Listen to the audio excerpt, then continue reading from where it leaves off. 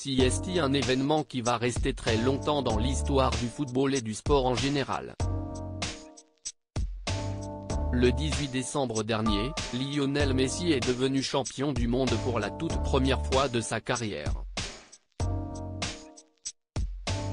À 35 ans, celui qui est considéré par beaucoup comme le meilleur joueur de l'histoire, a remporté le seul trophée qui manque à son palmarès, l'installant encore un peu plus haut au panthéon de son sport.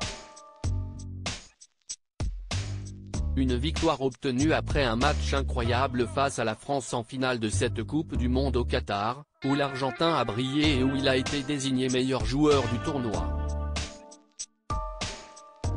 Lionel Messi est l'un des footballeurs les plus aimés au monde et il compte des millions de fans un peu partout sur la planète. Des fans qui sont prêts à tout pour montrer l'amour qu'ils portent à leur idole, à l'image de cet anonyme, qui a décidé de se faire un immense tatouage dans le dos, représentant le père de trois enfants portant le trophée de la Coupe du Monde dans les mains.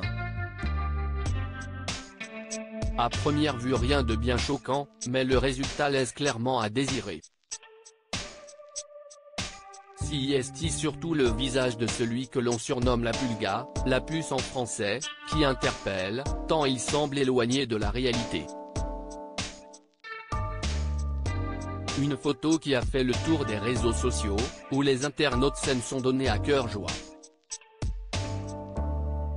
Il a abusé du kebab là, si est une insulte à Messi ou encore il a pris cher, ils sont tous unanimes pour dénoncer la piètre qualité du résultat.